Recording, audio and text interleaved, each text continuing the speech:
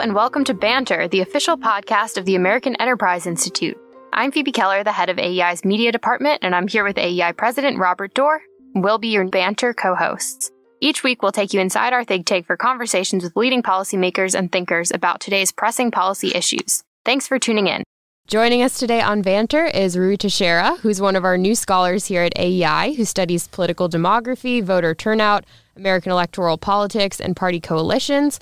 Before joining us here at AEI, he was at the Center for American Progress and has worked at Brookings, the Progressive Policy Institute, and the Economic Policy Institute. He's the co author of the very influential 2002 book, The Emerging Democratic Majority. And for us right now, he's writing a weekly analysis with Karlyn Bowman of elections and demographic voting patterns in the lead up to midterms. Thanks for joining us, Ruy. Delighted to be here. It's so great to have Ruy with us. He's one of the scholars who joined AEI in a flurry of activity this summer and got a lot of press about that. That yeah. was a nice thing. So thank you for that, Ruy. We appreciate you getting us attention. and, My pleasure. You know, it's attention for me too. So you well, yeah, there you go. Uh, that's right. so we're gonna. This is coming going to be released on election day. So let's not talk about the horse races and the individual Senate races because that'll be all baked by then. But mm-hmm. the elections and our politics are influenced by big long term trends, which you are the foremost expert on it seems to me. And so let's talk about long term trends or long term changes mm-hmm. in the political choices of various groups. And so the one that you're frankly most identified with, at least recently, has been the working class. What has happened to the working class in their political attitudes? I mean, when I was a kid, the working class was the, the Hubert Humphrey Democrats, and uh, they don't seem to be that anymore. Is that true? Yeah, I mean, I think that's true. Uh, you know, almost no matter how you define the working class, whether it's by occupation, we have seen over time a drift away from the Democrats among working class voters, particularly, of course, among white working class voters, where that that move away from the Democrats goes back decades. But we've seen another tranche of this, as it were, in the last decade. So if you look at 2012 and you compare it to 2016 when Trump got elected, um, there was a big, another big surge toward the Republicans among white working class voters. And that's really what delivered the election to Trump. It was the surge of those voters, particularly in key Midwest states, that really delivered the election for him. He couldn't have won it without them. They really are the demographic group responsible for that. But the interesting thing is, and this really gets at the whole broader question of the working class and the Democrats' relationship or, or lack thereof to that group, is that if you look and compare 2012 to 2020, the Obama election to the election of Joe Biden, about the same popular vote margin. But what's interesting is the working class as a whole moves away from the Democrats because what you see between 2016 and 2020 is not just continued poor performance among the white working class, but a cratering, relatively speaking, of support for Democrats among particularly Hispanic working class voters.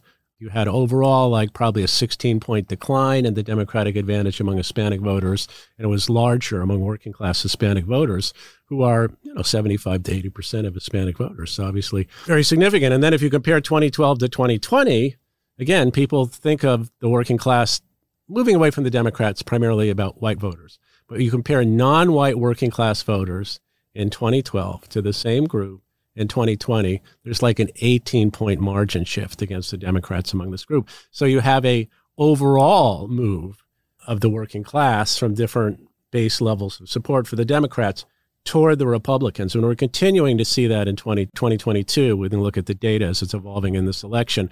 We have a, you know, just a big chasm between overall working class support and overall college educated support for the Democrats They're almost mirror images of each other. Democrats do much better among the college educated, much worse among the working class. So the immediate question about that is those are just the numbers, and mm-hmm. we've seen that and we've talked about that. The question I would ask is why? What are they telling opinion pollsters, and what are the things that are driving this change? What is it about Democrats they don't like anymore, mm-hmm. and what is it about Republicans that they now suddenly have fallen in love with?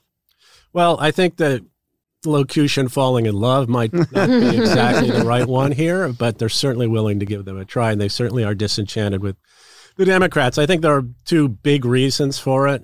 I mean, one big reason is that culturally the Democrats have become much more left than they used to be, much more focused on identity politics issues, much weaker on issues like crime and immigration, consumed with seemingly arcane ideological debates about race and gender, even insisting on the kind of language you use, uh, and sort of devoting a lot of attention to issues that for a lot of working class voters are just not that salient and it doesn't certainly doesn't reflect their cultural views. So we have a situation where moderate to conservative working class voters increasingly do not see the Democrats as speaking the same language and having the same worldview as they do. They sort of in a bub, their their bubble on the coast or wherever they happen to be, and they're you know worried about things that just really never cross the mind of a lot of working class voters. That's the cultural part of it, but then the economic part of it is very important as well. Obviously, the two things melt together.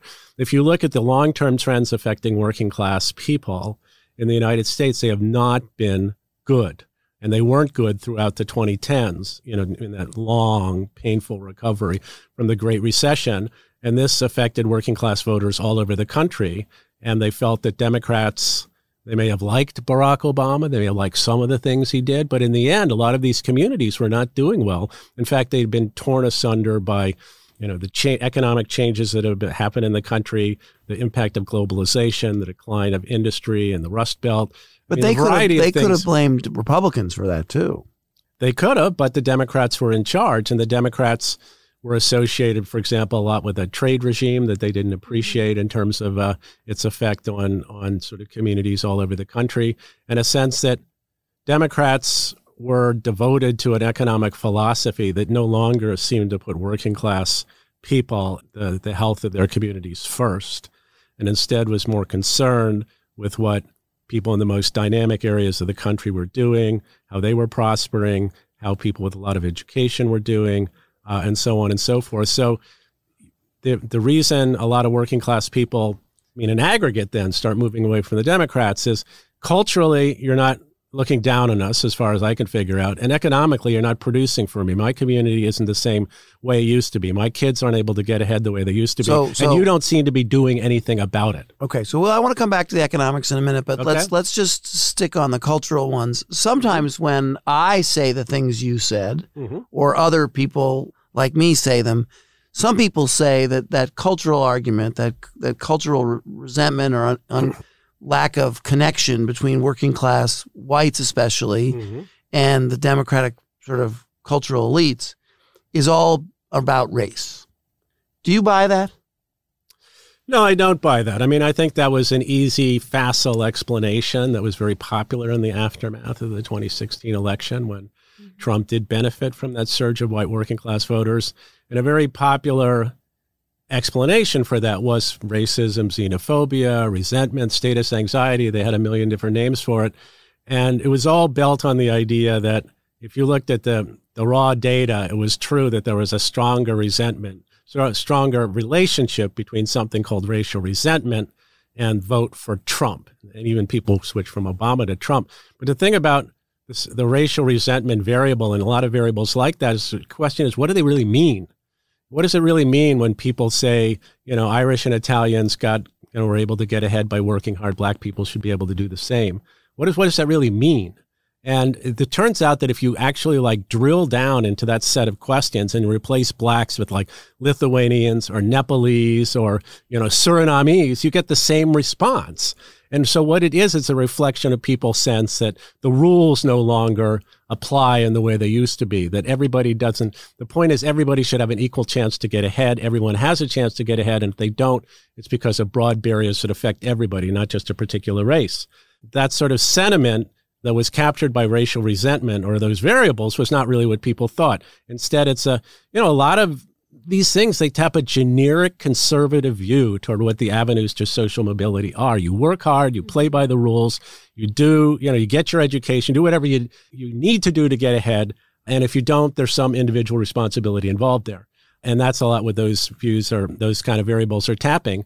And in fact, if you you look at the um, again the underlying data between 2012 and 2016, most of these indicators went in the wrong direction. People became less racially resentful, not more racially resentful. So, how good a explanation is that mm-hmm. for right. what happened in 2016? And I think that gets back to the fact that that explanation pushed in an open door among liberals and Democrats because they could not believe anyone would vote for Donald Trump who was not fundamentally a racist or a xenophobe or benighted or, you know, basically, uh, you know, part of a fading part of history we should seek to pu- push away. Um, they just couldn't get it. So is that, that explanation as it gained force, really hegemonized the Democratic Party. They didn't want to understand why someone might want to vote for so, Donald Trump. So, wait, wait, what you're saying is that explanation made it worse. They, Absolutely, they, they, it made they, it worse. They got it wrong, and then they said it was about that, and it turns out people who aren't racist don't like being called racists. People who aren't racist, or at any rate, their views are much more complicated than I don't like black people mm-hmm. or I don't like immigrants. They like people are complex. The way they view the world is is filtered through a lot of different things they think about, things they've heard about, anecdotes they've encountered, you know, their own lives. I mean, they're trying to make sense of the world. And if their sense of the world is, you know, things aren't seem fair anymore. It seems like people are cutting in line. It seems like I'm not getting the breaks I did and maybe some of that's involved, you know, sort of reflects how they feel about immigrants, for example. But that doesn't mean they, they literally hate immigrants or they literally don't think there should be any immigrants or literally hate black people.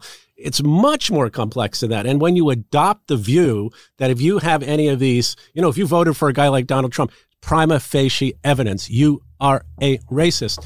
I mean, this is this is not going to convince any of them to come back your way. Mm-hmm. It's going to push them away, and believe me, they can tell. I mean, voters know how a lot of Democratic elites look at them, and they don't like it.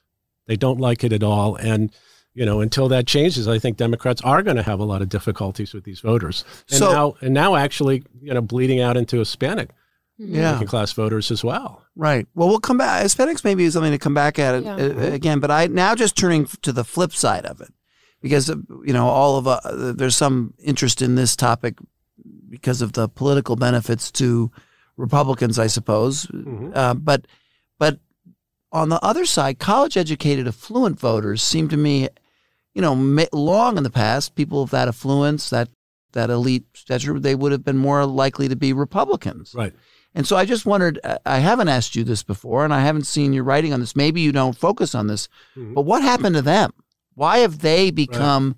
so democratic or or progressive? What is it? Something about our education system? Is it what's going on there? Well, that's a good question, and we, you know, I don't think we all still have a full explanation for this sort of realignment among this demographic. I mean, it does go back quite a ways, at least for part of this demographic. If you look at professionals, uh, for example, they've really realigned toward the Democrats over a lengthy period of time, starting in the 80s and 90s. You see professionals going from being a Republican group to being a basically pro Democratic group. And then the broader college educated group takes a longer time to along. And it does appear to have a lot to do with the issues that are associated with Democrats and are associated with Republicans. If you have a sort of series of views on sociocultural issues that tend to be moderate to liberal.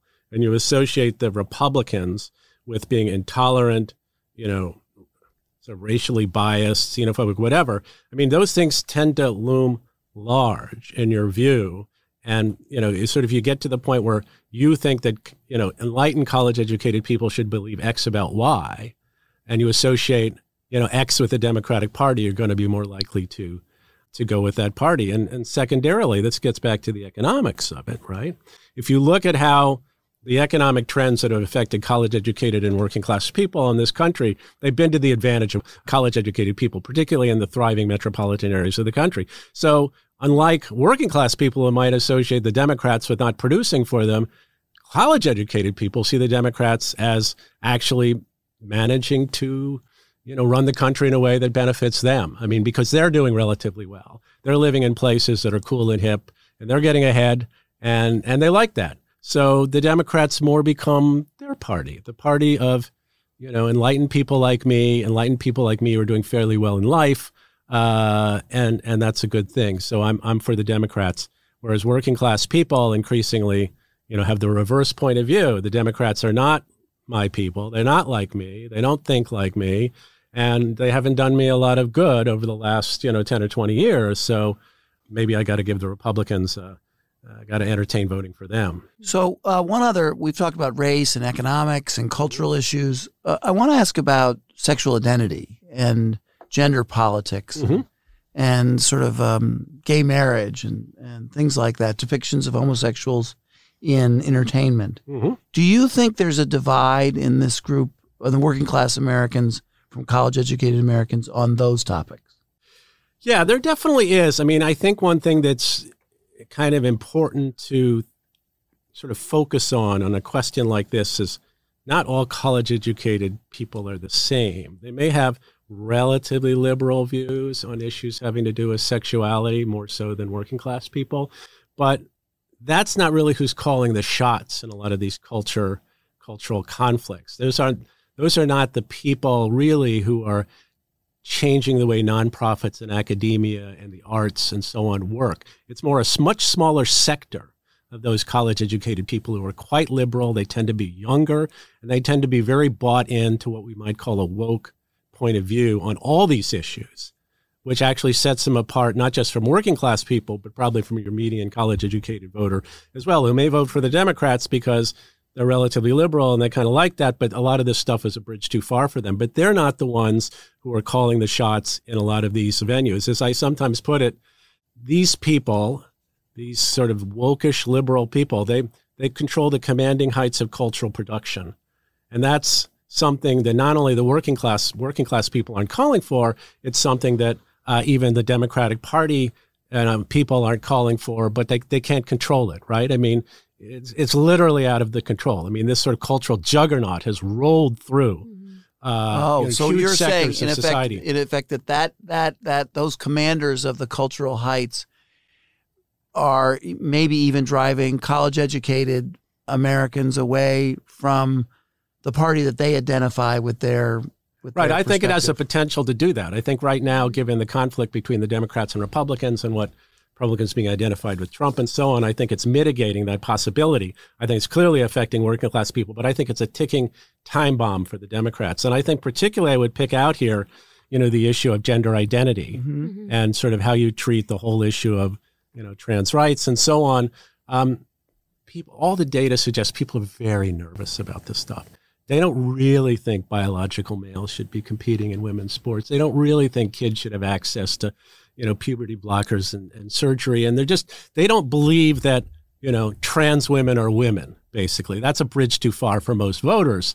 You know, people have the, I mean, most, the median American voter thinks, you know, and median college educated voter thinks trans people have a right to be whoever the hell they want. But don't tell me yeah. that trans women are exactly the same as women just because they decided yesterday that, you know, I am a woman. I mean, it's like that TikTok star who went and talked to Joe Biden yeah. at the White House, who who basically is some guy who decided five minutes ago they were a woman and now talks makes TikTok videos about girlhood and what it all means. I mean, you could not make this stuff up, Robert. Yes, I mean, yes, how yes. crazy is this? It's, so so this is definitely not in the working class wheelhouse. And I don't even think it's in the wheelhouse of many, many millions of college educated voters. And I think the Democrats sort of caught up in this cultural whirlwind that's taken over, that's it's really, you know, redefined our culture in many ways is is really much to their detriment and is going to put a real ceiling on their support. Why, why are they? These are your friends. Voters. I mean, these are your the Democrats. I, mean, I was teasing you a little bit, but why are they letting that happen to them? Why are they committing this self damage? And that is a very good question. And I might take a moment here to plug the book I'm writing with John Judis, Where Have All the Democrats Gone? Come out next year, where we're going to try to unpack and really understand all that stuff because it really is a great question, yeah. right? Yeah. I mean, this seems clearly like political malpractice and it's something they don't have to do. They can still be the relatively tolerant liberal party without, you know, embracing this sort of outre stuff. But they they feel compelled to do so. So why is that? I think part of it is you know there's a serious amount of preference falsification going on within democratic circles. There's tons of people who say they believe this stuff when they do not. And why are they mm. falsifying their preferences? Because they're afraid. They're afraid of being attacked on Twitter. They're afraid of other attacks on social media. They're afraid of what their donors are going to say because a lot of these rich donors are bought into this stuff too. And there's a whole confluence of things that are pushing them to accept and do things they don't even really believe in that they might question the political efficacy of. And then I think part of the problem is you do this long enough, right? You accede to these seemingly absurd positions that you're supposed to take. And after a while, you kind of believe them. You know, it's like, well, okay, maybe maybe that is the way the world is, or you're just so trapped you don't even realize you're trapped, which I, is my view of Joe Biden. Well, does a lot of these things, I think, because you know the staff tells him to do it, and that's what all the kids are into these days. And, you know, well, who am I as an old dude yeah. to say, you know, I think that seems crazy to me. I mean, you know, it's like civil rights, I guess, kind of, sort of, baby. Yeah. I think is a travesty, but I think that that that is definitely has an effect on on a lot of people. Yeah, I think it's fair to say Joe Biden didn't find the TikTok star himself. Seems like but, yeah, I didn't reach out to yeah. I didn't talk to that woman. Yeah. yeah. but I'm curious. I mean, if there's kind of this realignment happening, and um, you're seeing more kind of affluent, college educated voters going to the Democrats. Is that potentially a winning electoral strategy for them? Or is this kind of a like wake up call that, you know, these pollsters need to see these numbers and realize that they can't afford to bleed these working class voters? Well, I would certainly say the latter. I mean, I think the default option for the Democrats has been this could be and will be a winning strategy for us because we're going to do so well among these sectors of voters who still like us, this sort of rising American electorate, that it's essentially going to defray any losses we have on the other side. We're going to come out net as net winners in this. Mm-hmm. And I think that's a very risky proposition. Working class voters vastly outnumber college educated voters in this country. And the only reason Democrats have been able to keep their heads above water to some extent is because you know they still get some percentage of the white working class vote and mostly because they could rely on overwhelming support among non-white working class voters. Once you start to bleed those voters, the mm-hmm. political arithmetic just does not work. Yeah. And I think that is really starting to you know get the attention of a lot of democratic consultants and pollsters and, yeah. and eventually some democratic politicians and I think depending on how 2022 turns out, mm-hmm. uh, I think there may be some uh, you know rethinking uh, Do you see that as kind of like the focus on abortion that has been the Democratic strategy throughout midterms? Like, would you describe that as also kind of a, a focus on a culture war issue that is not necessarily something working class people are going to vote on? Like, was that a miscalculation? That does seem like that's been their main push for people to turn out in midterms. Yeah, I mean, clearly the Democrats a while ago decided they were going to run, you know, the 2022 election cycle on abortion rights, gun control, and January 6th, mm-hmm. right? I mean, sort of this trifecta, which, you know, oddly has, not so oddly, has nothing to do with the actual right. economic and material situation most people are experiencing, or they're very unhappy about.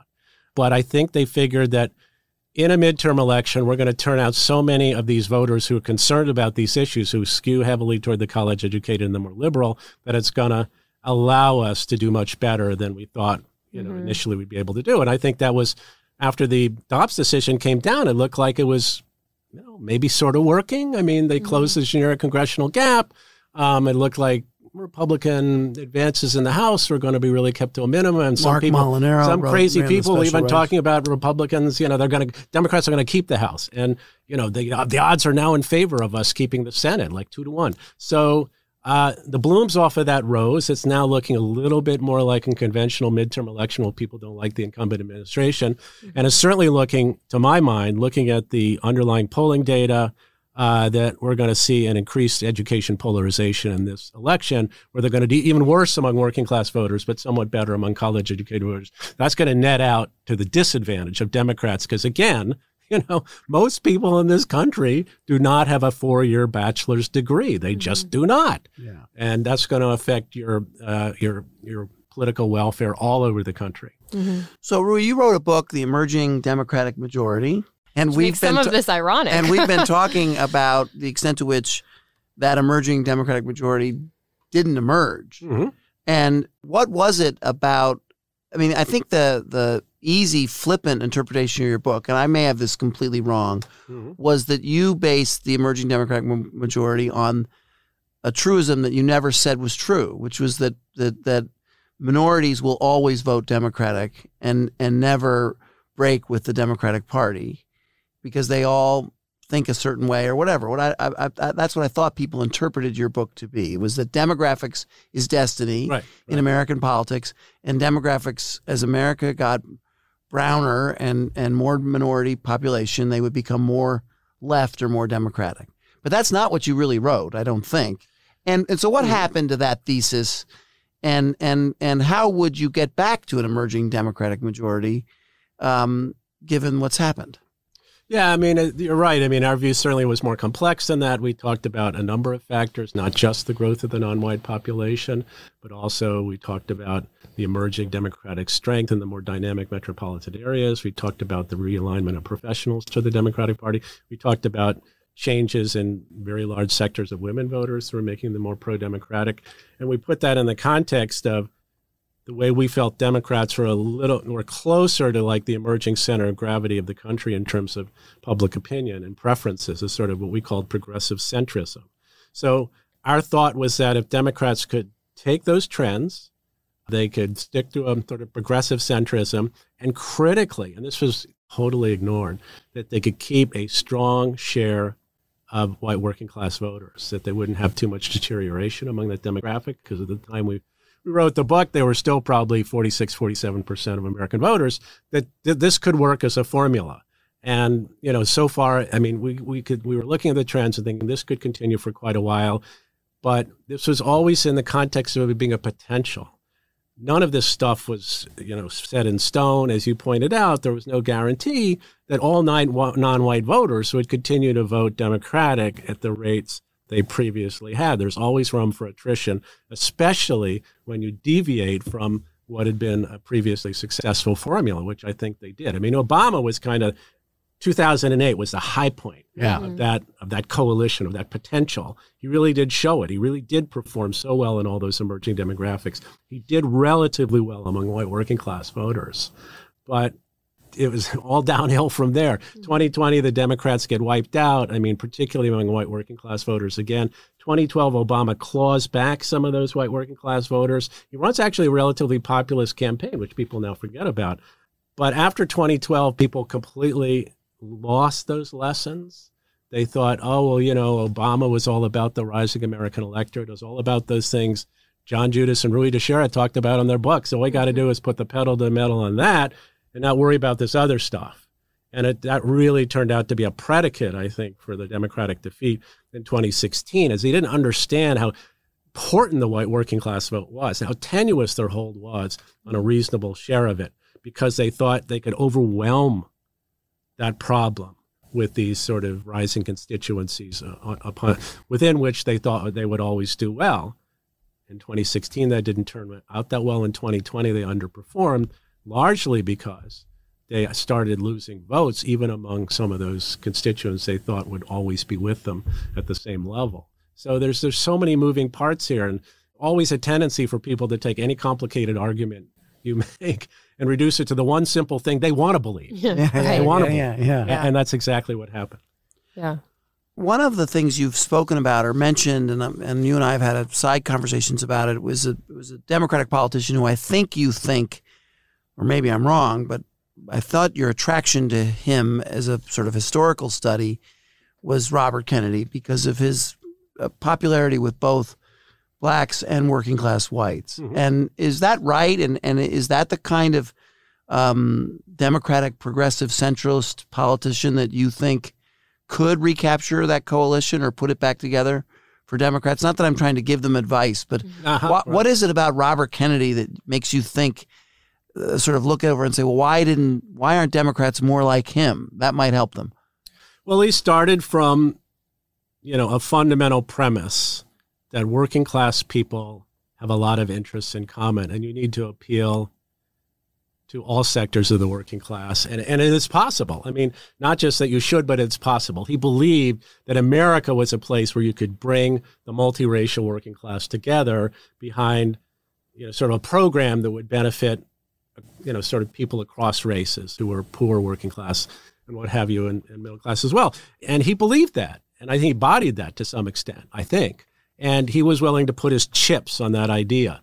And in a way, if you look at the evolution of the Democratic Party ever since 1968, in an odd sort of way, it's a it's a gradual sort of falling away from that Bobby Kennedy perspective about the need to make the, the centrality of appealing to the multiracial working class. I mean, Democrats become more enamored of other constituencies. They become increasingly annoyed with working class people who don't think they're great and therefore must, you know, be sort of sort of on the wrong side of history. And, you know, the the whole idea that you know, Democrats should fundamentally be universalist and appeal to the multiracial working class as opposed to picking and choosing which constituencies they appeal to, really comes out of, you know, sort of falls out of favor over time. But I think the Ken, the Bobby Kennedy formula is actually a very good formula, and I think realistically for the Democrats to, you know, reemerge as it were as any kind of real dominant majority party is just as opposed to participating in this sort of unpleasant stalemate between the parties that I think we're really experiencing today. I think it does include an attempt to revive that spirit, at least, of how you're going to appeal to the multiracial working class. And that's central. You're not just about the non white working class, you're not about the white working class. You're about the working class and you know poor people and middle class people as a whole, and you're going to uplift them all. And that's really what America's all about: universal mm-hmm. uplift, upward mobility for everybody. Well, I, I, would suggest that there were other aspects about his po- political persona that also, looking back now, seem out of out of touch with the sort of democratic politicians today. Mm-hmm. He seemed more patriotic. He seemed more willing and had a, had had done been in circumstances where he would disagree with with um, black politicians that, mm-hmm. that were doing things he didn't agree with, and and he wanted to support them and he helped them. He certainly was a great advocate for uh, racial equality and and voting rights and all those things, and a great hero of the black population. But he wouldn't always say yes, and I think that the white working class saw that willing. He was also a law and order person. He, right. he, no question, he was a law and order person. The other thing that just struck me is, I mean, you know, I, am trying to think of a current Democratic politician who was so overtly religious and Catholic. Mm-hmm. President Biden is Catholic, I know, but but it's Bobby Kennedy was he had 11 children for God's sakes. I mean, right, right. is it possible that that there's some cultural issues involving Robert Kennedy that make him less like today's Democrats and more like working class Americans who are turning right. toward Republicans? Well, I think, yes, he was an unapologetic, patriotic American, which I think is something that a lot of Democrats are now loath to identify mm-hmm. themselves as because that's, you know, it sort of covers up the, the, the terrible aspects of our history and the awful things we've done.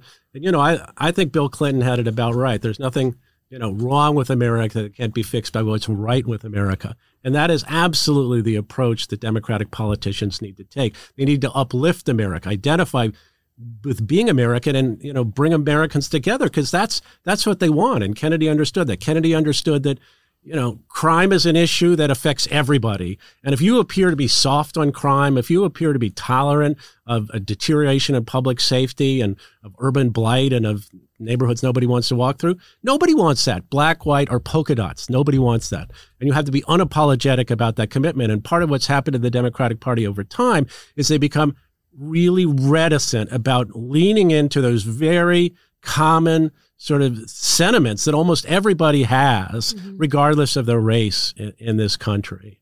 Everybody, you know, like everybody is, you know, sort of people like America. I yeah, mean, yeah, there's just no yeah. other way to put it. I mean, people are patriotic. The only people who really aren't patriotic in this country are people who identify as progressive activists, mm-hmm. who are like, actually, if you literally ask them, are you proud to be American? Only about a third of them will say yes. But you look across all races, all classes. I mean, you get like overwhelming majorities saying they're proud to be an American, they're patriotic. So that's really a problem because the problem is these progressive activists uh, who loom large in the Democratic mm-hmm. world, they, they, they, they idea it, they, they affect the Democratic image. And the Democrats need a different image. They need more like the Bobby Kennedy image to get back to what you were talking about.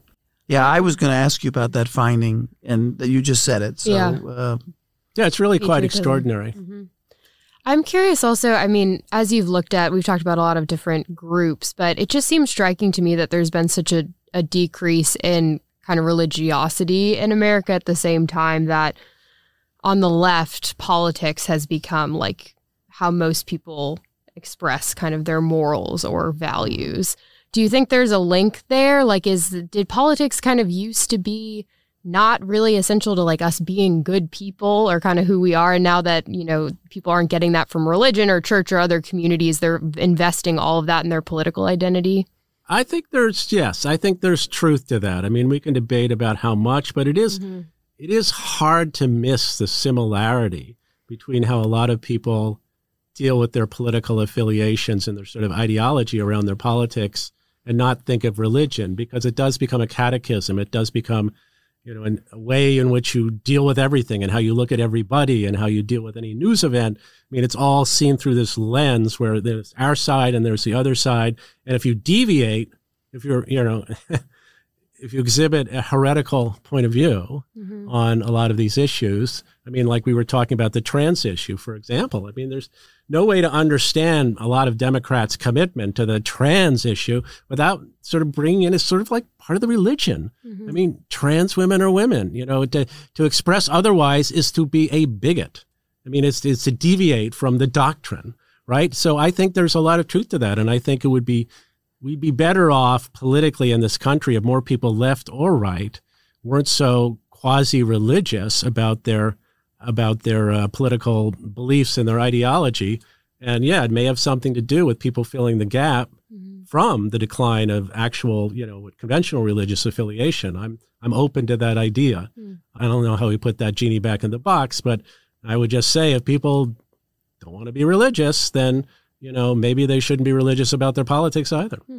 Okay, so last question. You know, it's this has been a great conversation, and, and you are all the things we thought you were. Uh, but the question is, given your long history in studying these issues, what what are you focusing on now? What what is the what is you mentioned a new book, but what mm-hmm. what do you what do you want to find out more? What what are you? Tell me about your life as a scholar. What what's what is are your sources? What's what's your your agenda?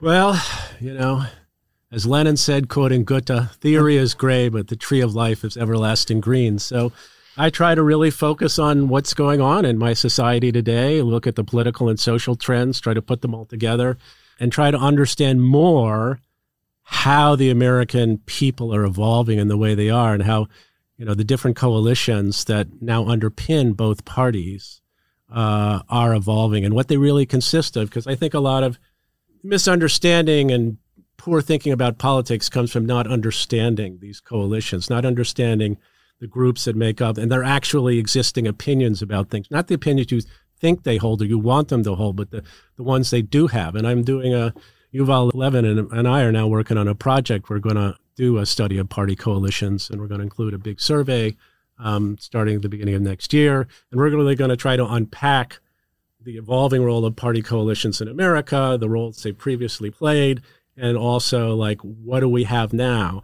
How can un- how can understanding party coalitions today and how they're structured and the different groups that compose them and their sort of different vectors of beliefs, how can that illuminate the sort of stalemate we're in now politically between the parties? And will it suggest any openings for either party to move in a direction that's more productive and getting our politics back to something we'd, we'd all be proud of participating in. Okay, so, so, I know I said that was the last question, but I do have mm-hmm. one more. So we talked about the progressive left, and we've talked about the broad middle, mm-hmm. a lot of this conversation. But are you worried about the extreme right uh, and and democracy? Yeah, I'm worried about it. I mean, I do think that as much as I criticize the Democrats, I mean, there is a contingent of the extreme right who's represented in the Republican Party that seems a bit skeptical of the value of democracy, shall we say, mm-hmm. and and and you know worse might be willing to act on it. And I think that here the figure of Donald Trump looms large because let's face it, um, this guy still packs a big punch, and he's sort of associated with the people in the Republican Party who seem most cavalier about you know, democracy and about whether we need our to institutions, worry too much. our institutions, America, patriotism, yeah. even. I mean, it, th- this is a bad thing, and I think that uh, you know that's why even though the Democrats have multiple problems that I've outlined in, in in some detail in my writings and in our talk here today, I think the Republicans are equally incapable at this point of governing the country in a good way and of avoiding their own extremists, and and in fact, you know they have elements of their own party which really could endanger democracy, democratic institutions, democratic rule if they get too much power. Now, that said, I do think that there is a tendency in democratic ranks to like act like we're basically the Weimar Republic, 1932, and mm-hmm. like the Republican Party a literal fascist or a big part of it is lit. And I think that's just really overwrought. Mean, if you want to defeat the people who are undermining our democratic norms and or at least raising the possibility of undemocratic practices, then you you basically need to realize that most people in this world do not live their day to day thinking about how they're going to like fight fascism. They're really thinking about how they can get ahead. They're thinking about their health care. They're thinking about the economy. They're thinking about what would be decent, humane politics that I could relate to. Mm-hmm. And I think you need to realize that uh, and realize that if you want to defeat the people who are seemingly most anti-democratic on the Republican side, then you literally have to beat them in election contests, and that involves more than just pillaring uh, them and their party for being, you know, a, a, sort of fifth column in the United States for a fascist takeover. Because I just think that's it's way overwrought. I mean, everybody hated, at least I hated what happened in 2020 with Trump's attempt to like mess with the outcome of the election, but the system held. Let's let's celebrate that you know, let's build on that. I mean, America's a not only has a great country, it has an institutional structure that is really capable of of, of resisting a lot of a lot of damage. And we should we should sort of try to lift that up for people and say, if we, you know, if we work hard, we can keep the system uh, working. We can keep these bad elements in check. And if you agree with me, then you know you should be with me. And besides, I'm going to do all this other great stuff for you, et cetera, et cetera. um, but I think hanging it all on, you know, the fascists are at the gates, just a very questionable mm-hmm. political strategy. Okay. Thank you, everybody. Thanks, listeners. This has been a great conversation. Ruy, thank you. Thank you. Uh, Phoebe, thank you. Thanks. And uh, we'll see you next time. Thank you for listening. We hope you enjoyed the discussion today. Please remember to subscribe and rate the podcast. Feel free to send us any feedback or suggestions at banter at aei.org.